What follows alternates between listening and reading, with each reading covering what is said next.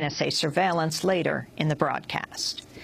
The mother of Trayvon Martin is urging supporters to use her son's death in the campaign against racial profiling and lax gun laws. Sybrina Fulton spoke out Friday before the National Urban League in Philadelphia. My message to you is, please use my story. Please use my tragedy. Please use my broken heart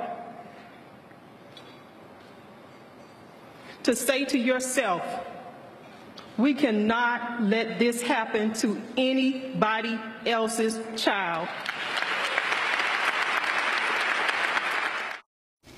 Fulton's speech came two days after the lone person of color on the jury that acquitted George Zimmerman came forward to say she believes Zimmerman got away with murder. Sybrina Fulton's comments also come as a group of young Florida activists are entering the third week of a sit-in at the offices of Republican Governor Rick Scott in Tallahassee, Florida.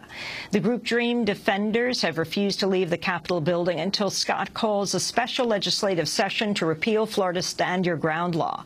Scott's rebuffed their demands so far. On Friday, the Dream Defenders protest received a visit from the legendary performer and civil rights activist Harry Belafonte. Speaking to reporters, Belafonte was asked for his message to Governor Scott.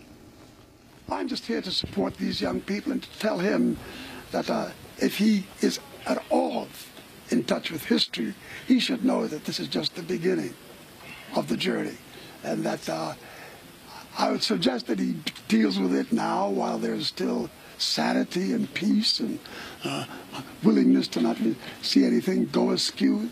It's not violent. If he pays attention now and deals with the issue now, uh, he might prevent it from escalating to something infinitely bigger. On Saturday, Florida police initially barred the delivery of food to the Capitol sit-in, but reversed their decision after the Dream Defenders appealed to supporters over Twitter.